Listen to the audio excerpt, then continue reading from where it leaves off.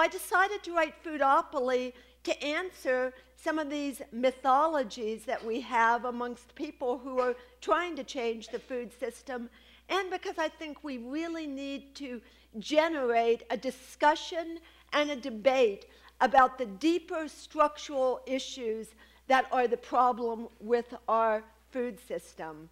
So I actually want to start this evening talking about subsidies, which are usually um, not a very uh, something that people are very interested in, and people usually damn them without thinking a whole lot about it.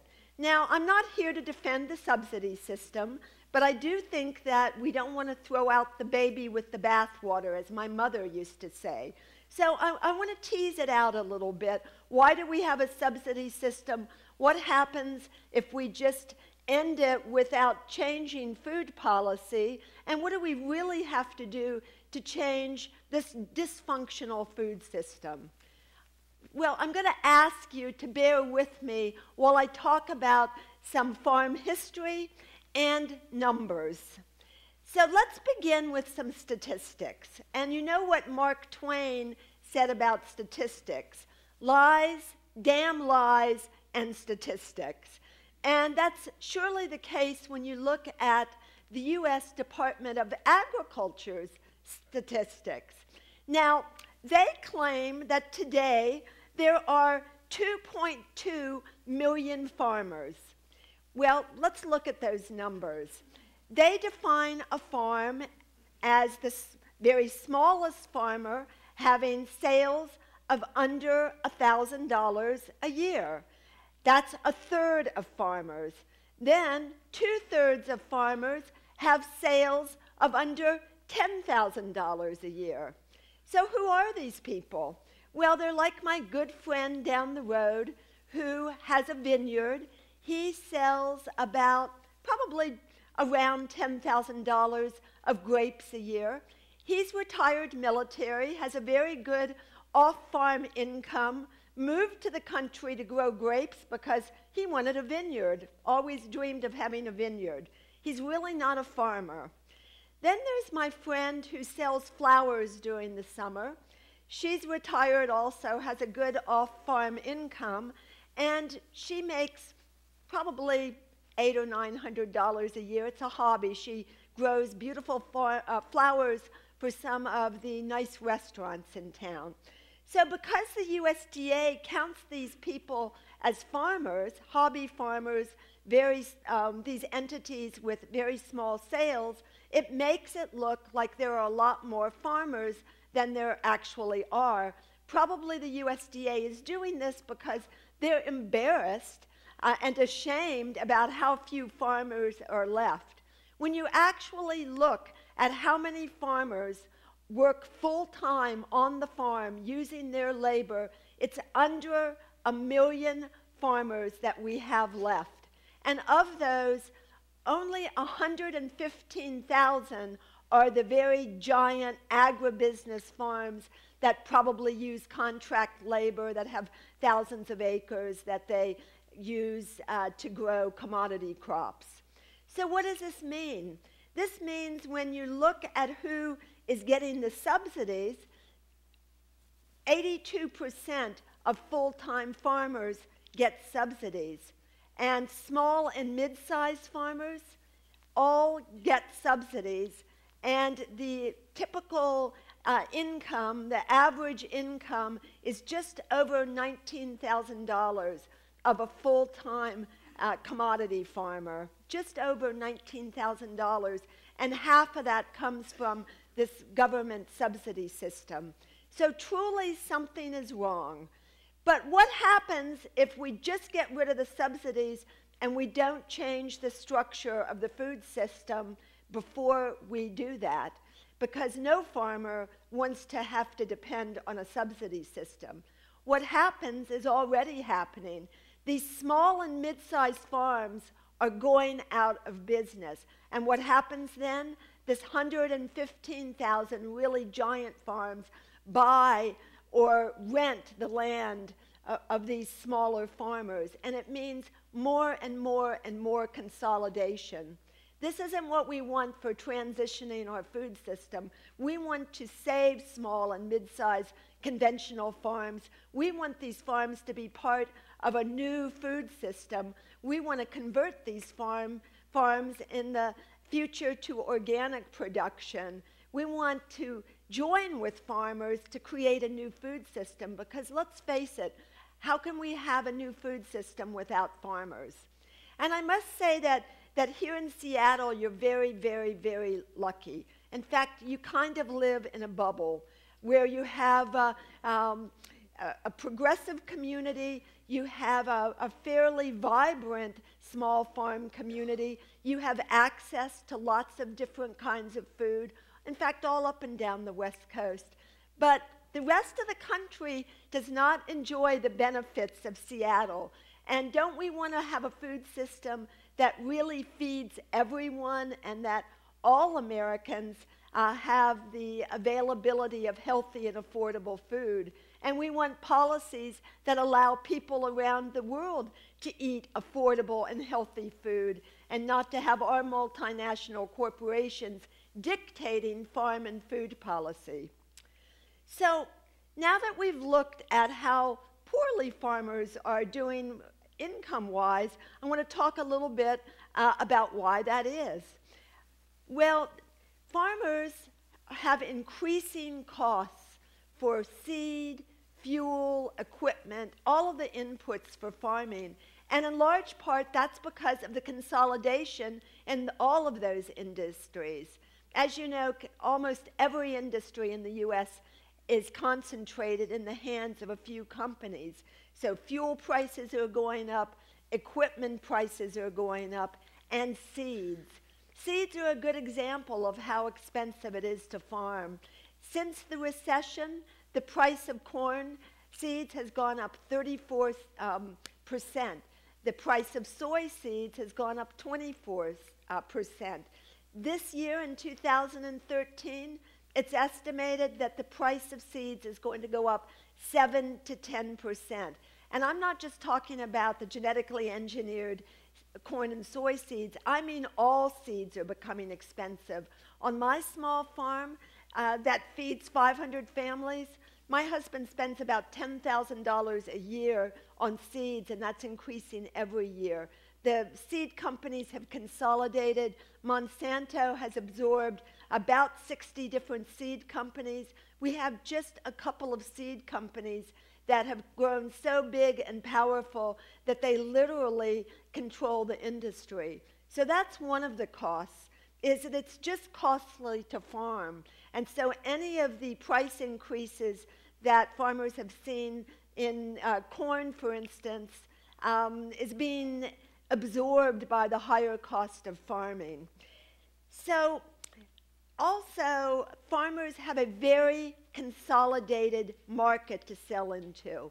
If you're a farmer, and this is true for fruits and vegetables and grains, if you're a grain or a commodity farmer, there's probably only one grain elevator in your town. It's probably controlled by one of the big uh, grain traders, a Cargill or a company like that.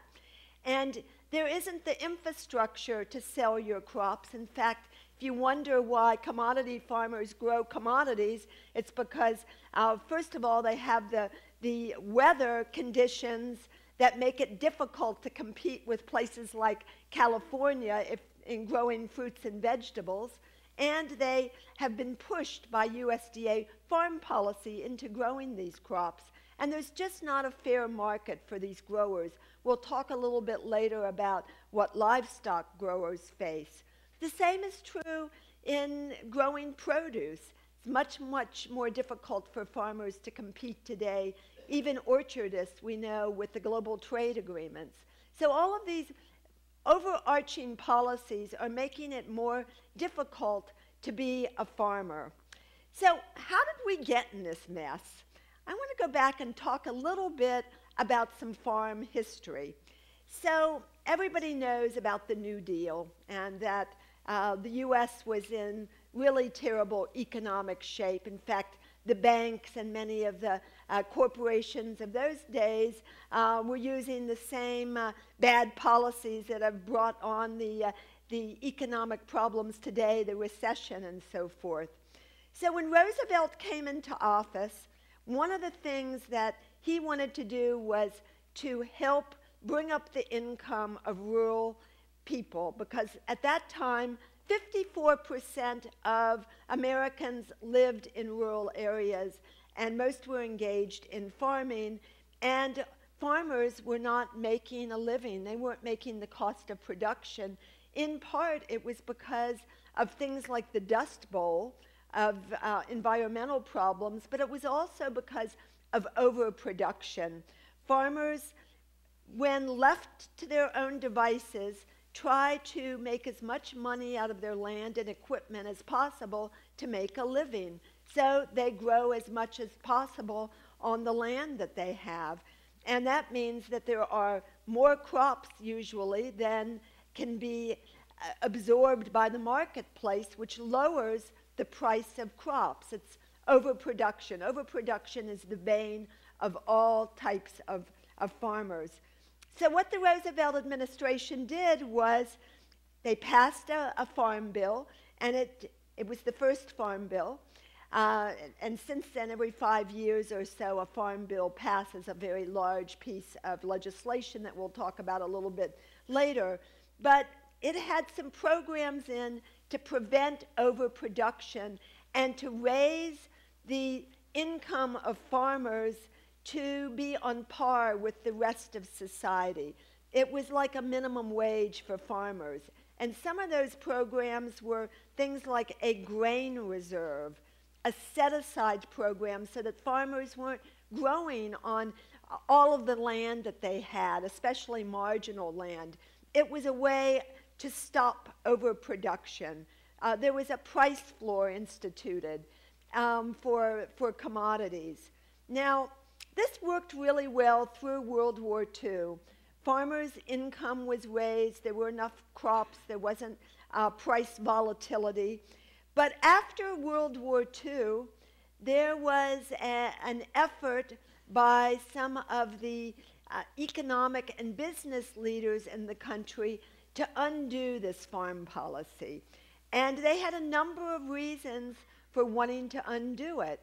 And so these men got together, and they were men at this time. It was people like the president of Studebaker, the head of the Kodak company, an individual who was an expert in uh, the new science of public relations. They put together a, an organization called the Committee for Economic Development. And the goal of this uh, organization was to frame the economy of the post war United States. And part of their agenda had to do with the rural community. They wanted cheap labor in factories and especially in areas where they needed um, skilled labor, people to train, to be in uh, manufacturing. And they, they were concerned about so many boys coming back from World War II and going back to the farm and being farmers. Now, remember, at this time, 6.8 million Americans were living in rural areas, and most of those people lived on farms. These men also had a political agenda, it turns out. It was not just cheap labor, although cheap labor was certainly an important part of it. These were the um, business leaders of the day and they knew their history.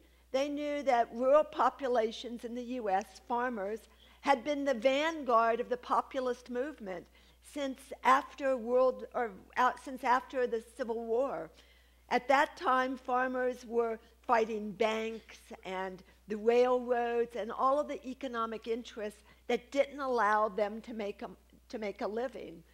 And these farmers had joined with other social movements like labor they had elected candidates. They had become very, very politically powerful. And so these uh, leaders of the Committee for Economic Development were concerned about what would happen when these men came back to their communities that were now um, enjoying a very high standard of living compared to 10 or 15 years before, that ha- were sending their children to college, and that were uh, very interested in a, uh, an advanced society with benefits uh, spread throughout the citizens of the country. So they really wanted to get these people out of the rural areas and into more urban areas. And they put together a plan and they began lobbying. So I'm not suggesting that this is some kind of wild conspiracy.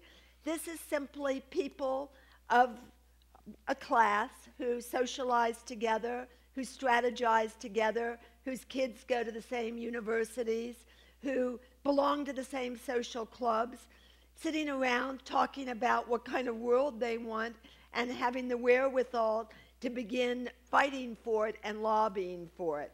So foreign policy didn't change very much in the 1940s, but by the 1950s, the Committee for Economic Development was gaining traction, and the whole idea that farm communities um, should begin training their uh, young men to go into other industries had uh, taken hold. Even the USDA began publishing documents talking about how um, one, uh, one third of farms actually produced most of the food and that uh, we needed farmers to go into more productive work, and that's a quote productive work.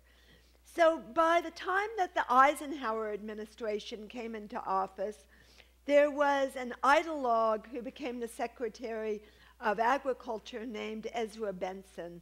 He was a uh, um, very uh, influential Mormon who uh, was a farmer, but who, who, who, was actually a professional agri.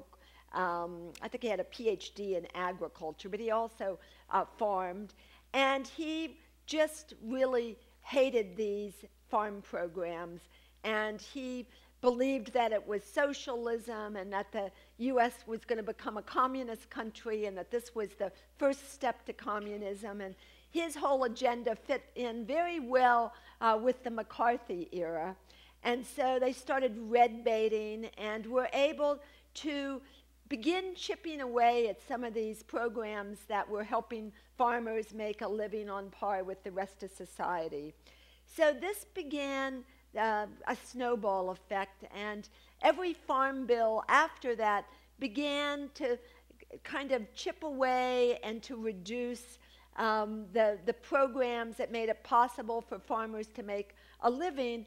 And the intent was to replace labor with chemicals and capital. And this is how our industrialized agricultural system began to be built. So let's uh, fast forward a couple of decades because we don't have time to go through every decade. But by 1960, the 1960s, the uh, um, CED had written a very uh, influential report called an adaptive program for agriculture.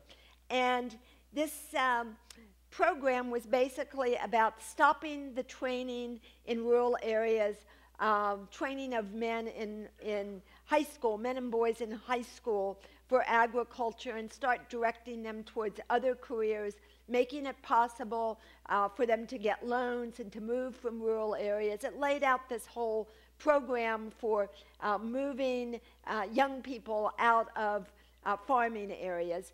And it also had a vision for a food system that would depend on imports that would, it was beginning to promote the globalized food system.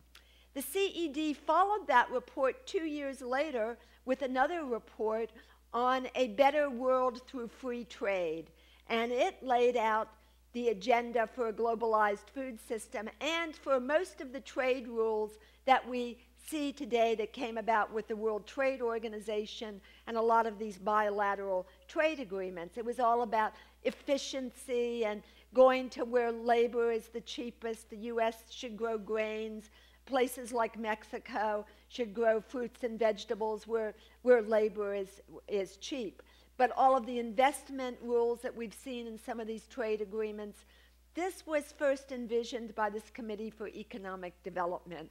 So they kept lobbying through the uh, 60s and into the 70s, lobbying for the trade agreements, uh, lobbying uh, the Reagan administration for some of the deregulation. So by the mid 1990s, after the US joined the World Trade Organization, there was pressure to get rid of the rest of the, the programs, the vestiges of the programs that had benefited farmers and allowed them to make a living. Programs like the Grain Reserve and the Set Aside program. This was during the Clinton administration. It was just after the world, the U.S. joined the World Trade Organization, just after NAFTA, and a lot of promises were made about how terrific this would be for the food system, how great it would be for farmers. The bill was called Freedom to Farm. And it was very uh, shortly after that that farmers renamed it Freedom to Fail, because especially for the commodity farmers, they felt the pain before the fruit and vegetable farmers. Two years after uh, the, the bill became law, that would be 1998, the price of corn had plummeted 50%. The price of soy had gone down 35%. There were farms going out of business. There were wild fluctuations, but mostly the food processors, the grain traders, they were getting their heart's desire, cheap commodities. So there was a lot of political pressure on members of Congress. Some of you, I'm sure, can remember this era and some of these debates going on. So rather than doing something that would make sense, like reinstating some of these programs that kept prices from fluctuating, Congress did what it does best. It spent uh, taxpayer money as an emergency payment to farmers so that they could actually stay in business, but the, the price of uh, commodities like corn and soy would be uh, low, and that meant that there would be uh, these companies that would really benefit. By 2002, the, these payments had become permanent, and the subsidy system was born. So this is uh, the subsidy system that's now about 17 years old. Now, obviously, our food system was broken before the subsidy system, but today, uh, farmers are still not making a living even with the subsidy system. So I want to show you a slide. Um, who do you think benefited the most from this subsidy system? Well, the soft drink uh, industry uh, saved about a billion dollars that first seven years in buying cheap corn. Probably nobody benefited as much, though, as the uh, factory farm. So as you can see here, uh, the, this is hogs. And in 1992, there were only uh, the industrialized, these horrible um, hog factories that mostly Smithfield runs today. Um, there were only 30% in 92. By 2007, 95% of the hogs eaten in this country were produced on factory farms.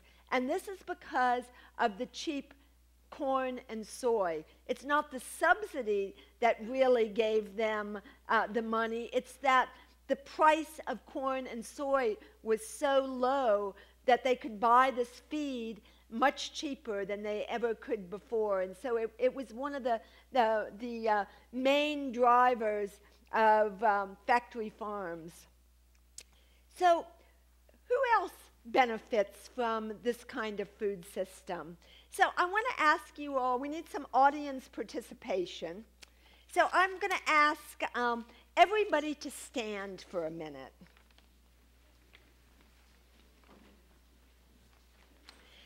And I'm going to ask you to be honest. I would be sitting too. I'm going to ask everybody to sit who's eaten one of these foods. And I know that I would be sitting. So sit down if you've had a Pepsi, a Gatorade, a Tropicana, Lipton Tea, Sierra Mist, Mugs Root Beer, Amp Energy, so, no, ever. ever. Not today. I'm not the food police. Sobe drinks, Naked Juice, Captain Crunch, Quaker cereal, Aunt Jemima's pancakes, puffed wheat, rice-a-roni, Lay's potato chips, Sun chips, Cheetos, Tostitos, Cracker Jacks, Hickory Sticks, Doritos, Ruffles, I could go on. Those are all Pepsi products. And uh, Pepsi is the very largest food company in the US, if you want to call that a food uh, company. Most of those uh, items don't um, fit the definition of food in my book. Uh, Nestle is the second largest company, but the largest company in the world, and Pepsi is the second largest company in the world. These are some of the companies that really benefit from this, these cheap commodities and who have grown more uh, powerful and richer because of this system. So there are about 20 companies that control the food system. These are companies like Kraft, like uh, Tyson, JBS, another giant meat company we're going to talk about in a minute, General Mills, uh, ConAgra, Cargill. And these companies are very, very rich and powerful. And so when you go into a grocery store, you think that there are many, many brands, but really there are 20 food companies that control uh, 60% of the brands in the grocery store. And when you look at the relationships and the corporate interlock, uh, there's a lot of uh, many, many relationships. And I looked at the financial industry and the relationships. These companies share uh, 436 different board members.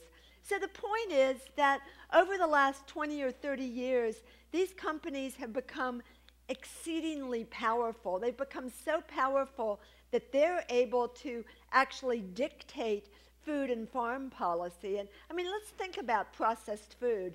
Uh, the American diet is comprised mostly of processed food. In fact, 90% of Americans' food dollars are spent on processed food, 90%. If we wonder why people are getting sick and overweight, uh, that's largely uh, why. And uh, these companies also control most of the laws um, around the things that we're exposed to, whether it's pesticides or other chemicals labeling laws. They're just extremely powerful. So this kind of consolidation is um, really detrimental to our food system, and we see this kind of consolidation uh, from top to bottom. So let's look at a few other slides and uh, the meat industry. So when you look at the beef industry, you know, we were talking about why farmers can't make a living. One of the problems is that independent farmers, uh, those that grow the, uh, the calves, most, most cattle begin as calves grown by independent farmers in the Midwest, and they live on these uh, calf operations until they uh, gain enough weight and then the meat packer buys them. Sometimes there's a step in between, but then most of these calves end up going to uh, feedlots. So these independent farmers who once were able to sell their cattle at, a, at an auction or some, there, was, there were independent meat packers that would actually buy the cattle. That's all gone today.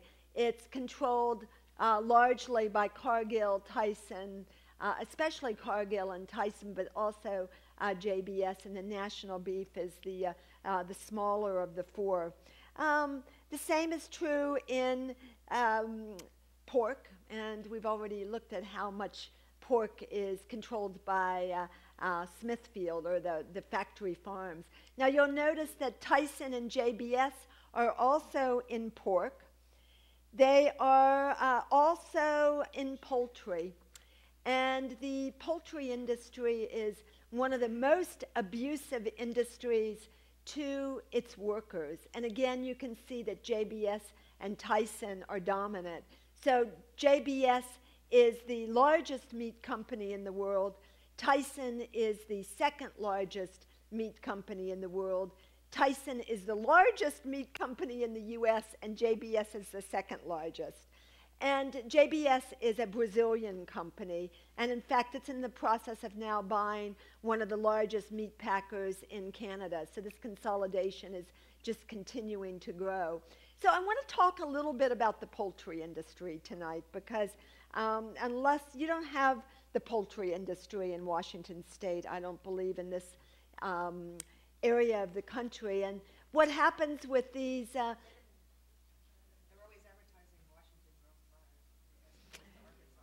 Well, there may be a few, but there probably are a few, but mostly the industry is in Arkansas, North Carolina, uh, the eastern shore of Virginia and Maryland, a little bit in California, probably a little bit here. It's probably, it's probably mostly uh, um, advertising. But anyway, the poultry industry is extremely an abusive industry to its birds and to the workers. So this is, um, this is a diagram of how the uh, industry works. So the meat company owns the genetics of the bird. It owns the bird, so it actually raises the chicks and they're delivered to the contract grower at a, a day or two. It supplies the feed. The feed is usually delivered in three lots um, starter, grower, and detox. So the detox is to clean all of the antibiotics and chemicals in the grower that uh, the chicken eats. These chickens live uh, for less than 45 days. So a, a broiler is about 45 days old. Uh, the company owns um, the patent on its particular blend of antibiotics and chemicals that are in the feed. It owns the trucks that go and pick up uh, the birds, and it, it hires uh, low income individuals who are the catchers. The catchers are, this is a uh, profession that you see in places like the Eastern Shore of Virginia and Maryland. This is a terrible job. The, uh, these workers go into these big warehouses, and these warehouses have 300,000 to 500,000 chickens. Each chicken has less than a square foot of space. And they, they go in and they grab them by their feet and then cram them into these uh, cages. Now, the contract growers, a few of them are beginning to speak out, and I had the opportunity to go inside of one of these warehouses. Usually, you can't get near these uh, poultry uh, operations. But there's a woman who's speaking out. Uh, her name is Valerie Ruddle. I interview her in the book. And it is, I mean, I just can't even explain how awful it is. I don't know how people go in and, and do the work, much less the birds. And the birds are really scrawny and um, they're, they uh, peck at each other's feathers. And uh, I could never eat chicken ever again after being in that facility. And then they send them to the slaughter facility. And one of the things these companies are doing is they're lobbying to reduce the inspection at companies. So, beginning in the Clinton administration, they began deregulating meat inspection. So, it was deregulated in the processing end. Now they're trying to deregulate it in slaughter. And what that means is basically they want the unionized meat inspectors off the line. They want the companies to self inspect. And now there's uh, a pilot project that they are trying to introduce that uh, will speed up the slaughter lines, and they're already very fast, but this would be 200 birds per minute. Yes, 200 birds per minute. I mean, you can, whizzing by, and there's, um, there's no way that you know, a bird can be inspected. And the way that they're uh, maintaining the safety, meat safety, is through chemical washes, things like trisodium phosphate and chlorine. And ever since the Carter administration, uh, the industry has been able to soak chicken in water. This, the beef industry fights with the chicken industry because the beef industry doesn't get to soak its meat. So that means that when you buy a chicken, some of the pounds or some of the weight is from the chemical washes, uh, mostly chlorine. So um, anyway, that's the, the big meat side of production. Now let's talk about the growers. Now, when most people think of the growers, they don't have a lot of sympathy because these people are cooperating uh, with the uh, meat companies. But you know, when you really talk to these people and learn about the situations that put some of the most uneducated and desperate people in the country into this position, you have to have a lot of sympathy. And a lot of times, it's a last ditch effort to save the family farm and they are given a whole dog and pony show about how they're going to make money and how great it's going to be.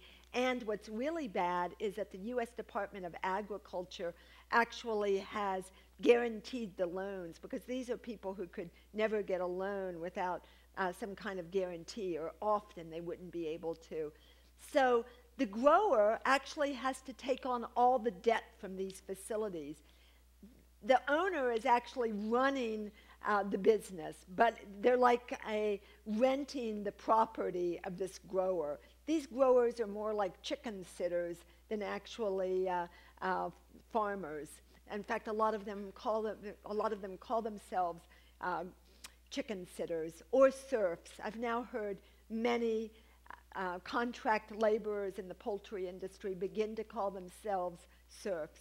So they own the debt, they own the barns, they put in a lot of the labor of removing the dead chickens, removing the, all of the uh, manure. They pay the cost of the utilities, and they're left with all of the dead birds and all of the waste and all of the risk because this is a uh, very polluting kind of industry, and so people are often sued because of the environmental damages.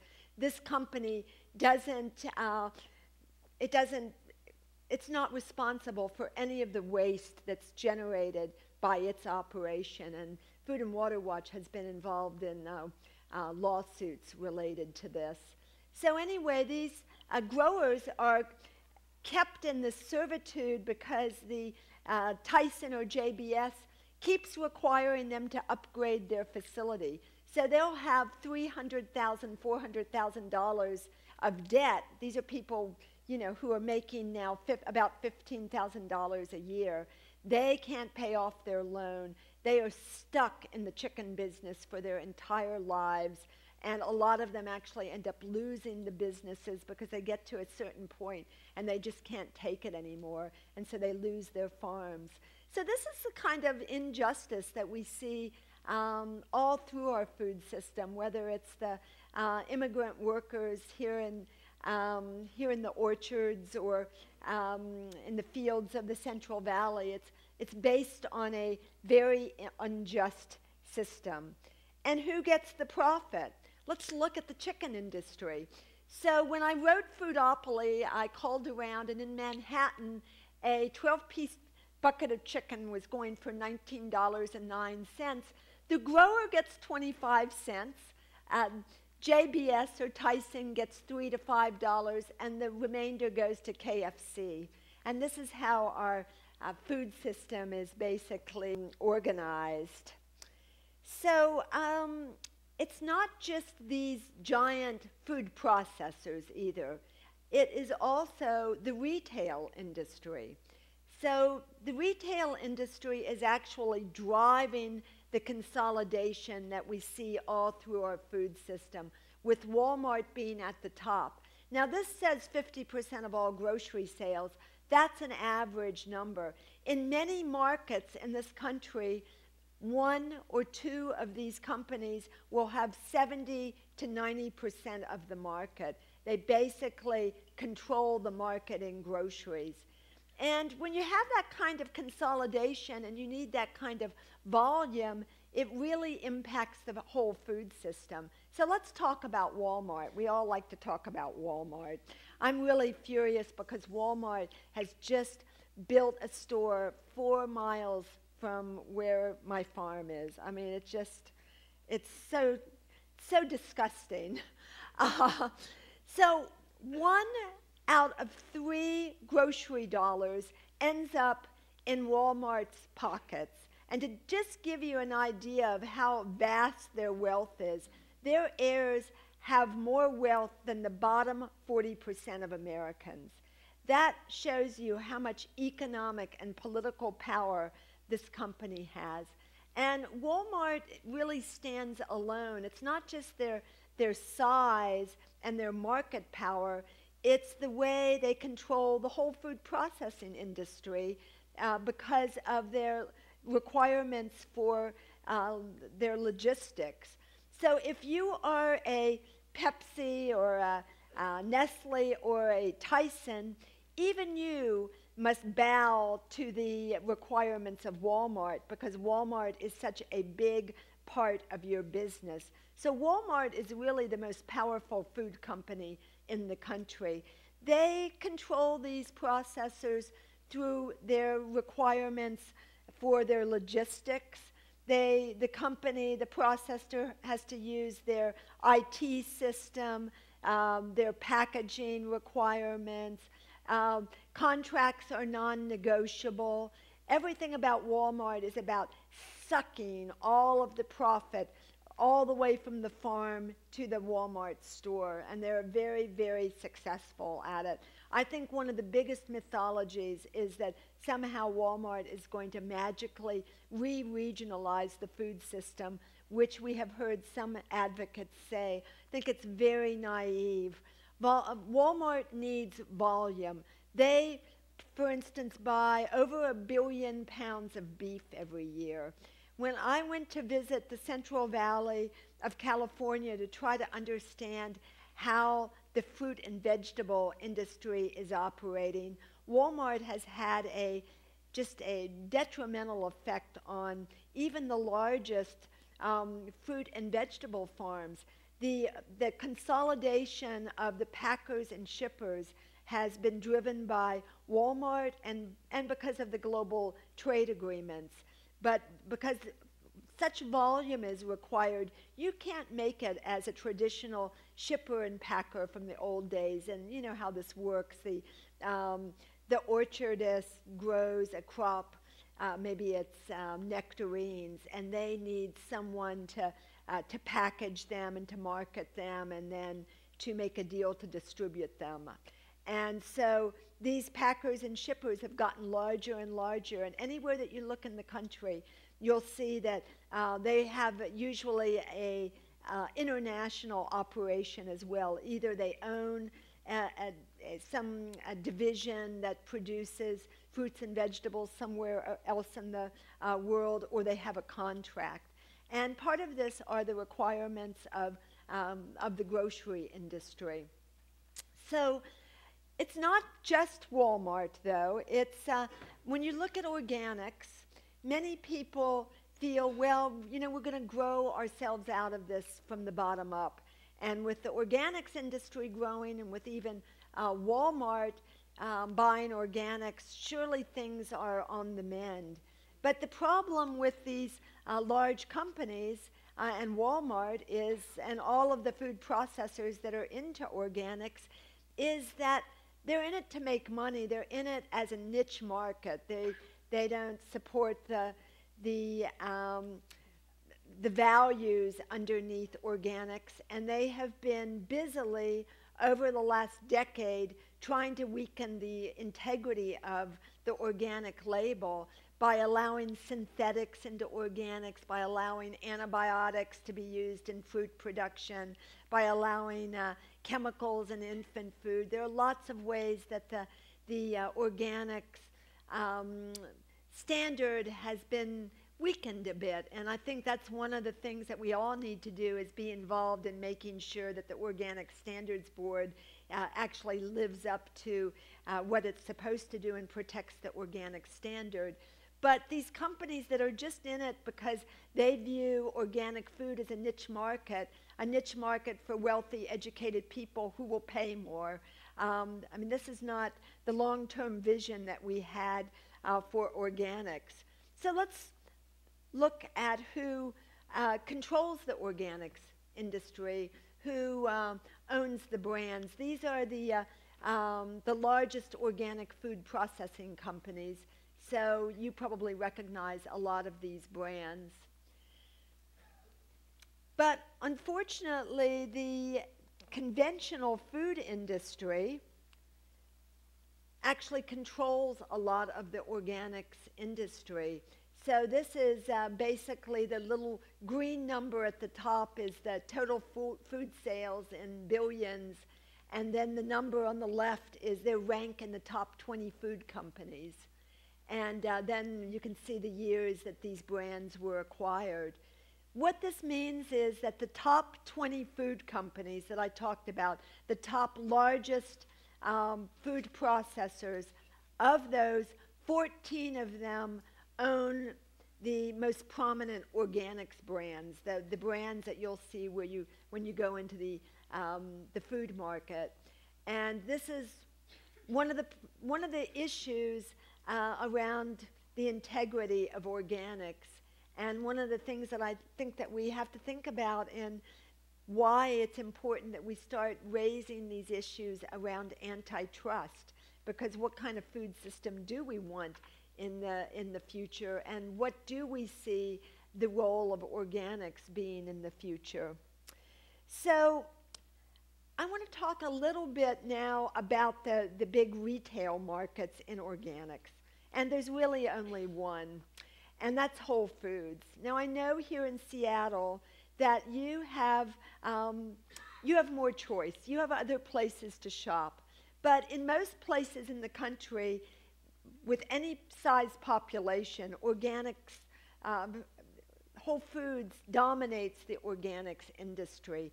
Whole Foods has absorbed all of its competitors and, in fact, now is changing its policies in its stores so that it's selling more and more conventional foods as a way to become more profitable.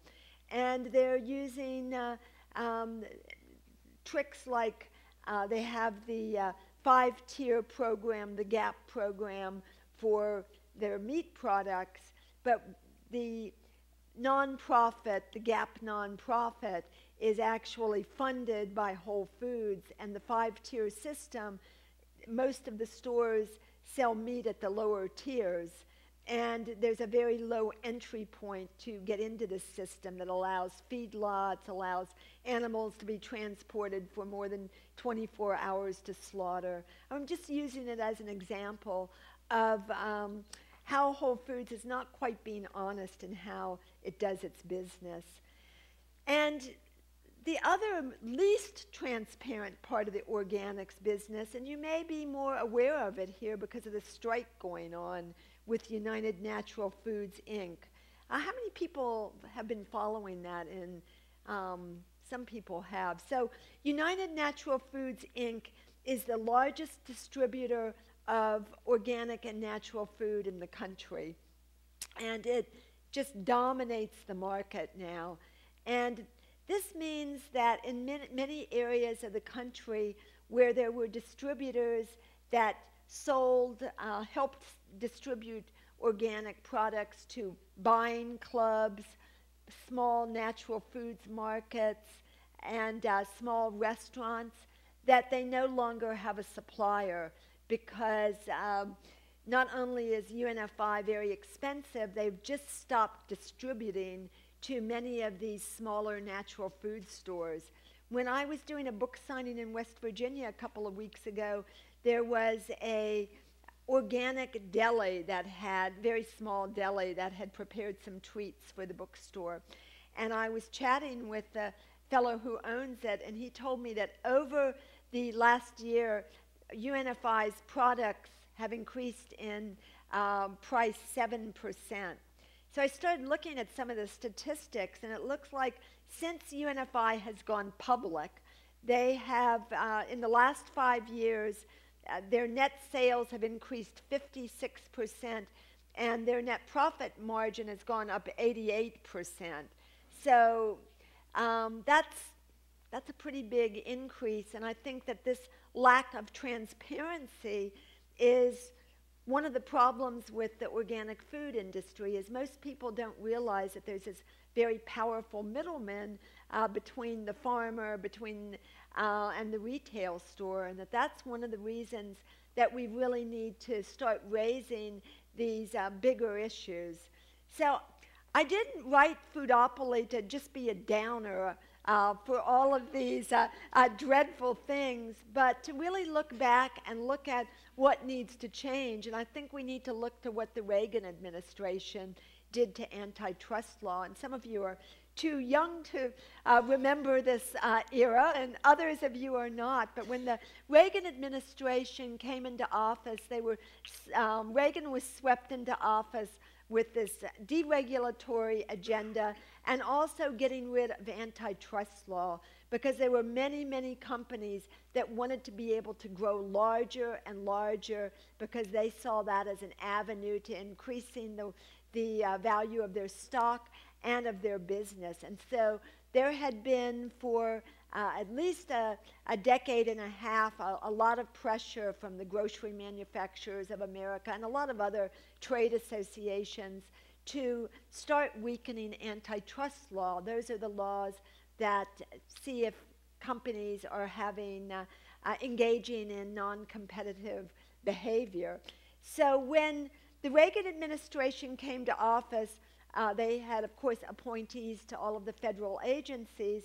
And at the Federal Trade Commission, uh, there was a lot of bloodshed. So in writing Foodopoly, I had the opportunity to interview uh, the head commissioner of that time, Michael Pertschuk, and to ask him about what happened when uh, the new administrator for the Federal Trade Commission came into, uh, came into office. And he said that he and a Republican colleague wrote a 400 page scathing report to Congress about what happened. Uh, they came in, cut the budget dramatically, got rid of whole departments, allowed practices that were against the law before Reagan to take place, like allowing competitors to merge. And then they narrowed the definition of what anti competitive behavior actually is. And no president since that time has been brave enough to tackle these issues and to try to begin reinstating antitrust law, and Congress is certainly not raising these issues. Now, when President Obama was campaigning for office the first time, he promised farmers in the Midwest to investigate the consolidation and lack of competition in the livestock market. And he actually instituted um, a, uh, a process for doing this. There were hearings over the course of a year. Uh, we were all very hopeful about where this was going to lead.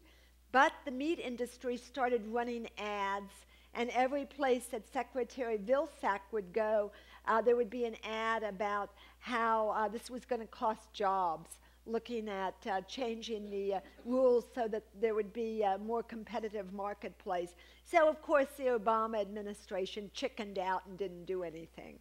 So, we want to start putting more pressure to, uh, to start looking at these important issues. And that's really why I wrote Foodopoly. I, you know, I think as someone who benefits from the local food movement, I think it's terrific. It's wonderful for everyone who participates in it. Uh, it's great to go out and visit the farm. It's great when a city like Seattle um, tries to figure out how to do food hubs and to support uh, local food. But if we really want to change the fundamental problems in the food system, we're going to need to do more. And people are going to have to vote with their fork, as many people are doing for their own good health and to support local agriculture. But we need people to vote with their vote and then to hold these elected people accountable. And that needs to begin on a lot of different levels and across the country.